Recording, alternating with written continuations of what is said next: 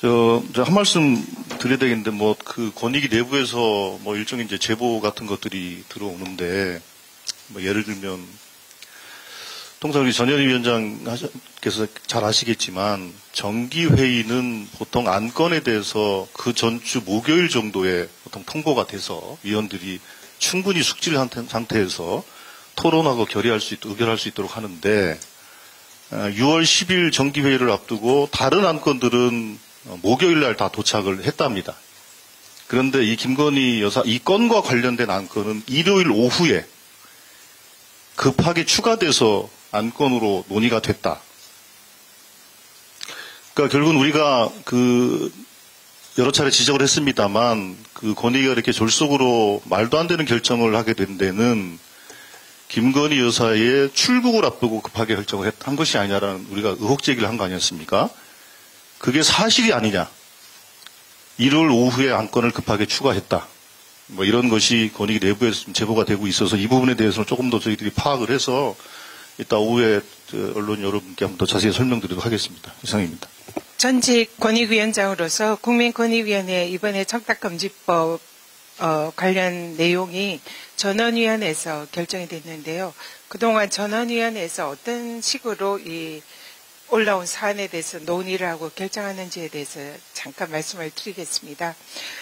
저 제가 권익위원장으로 재직할 당시 그리고 그 이전에 어, 대부분의 위원장과 부위원장들은 전원위원회에 해부되는 안건에 대해서는 전원위원회에서 개인적인 자신의 어, 견해에 대해서 발언을 하지 않습니다.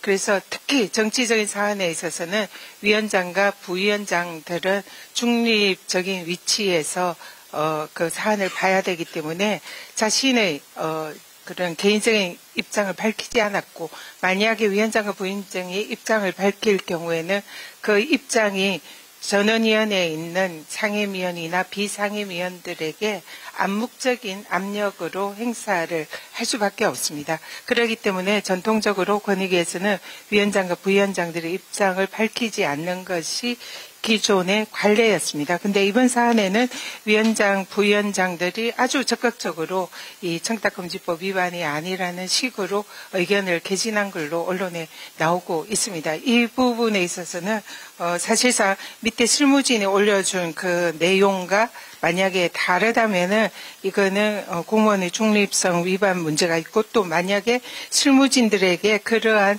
청탁금지법 위반이 아니라는 내용으로 전원위에 올리라고 망약 지시가 있었다면 이것은 그 지시한 자가 직무유기 내지 직권 남용 소지가 매우 높은 사안으로 보입니다. 일례로 어, 강서구청장 후보에 나왔던 모 공무원이 건의기에 당시에 대통령에게 사면을 요구하는 그런 안건이 올라와서 전원위에 논의된 적이 있었는데요. 굉장히 정치적 견해가 나뉘는 사안에서 당시에 어, 위원장인 저는 거기에 대해서 아무런 발언을 하지 않고 어, 전원위의 사실상의 위원들의 의견을 존중하겠다 이런 결정을 한 바 있습니다. 그래서 이번에 권익위의 이러한 결정은 그간 건의계의 전통과 관례에 비추어도 매우 이례적으로 위원장과 부위원장 등 정무직들이 사실상 결론을 유도한 사안으로 이 부분에 대한 정무직들의 책임 반드시 있어야 한다 이렇게 봅니다.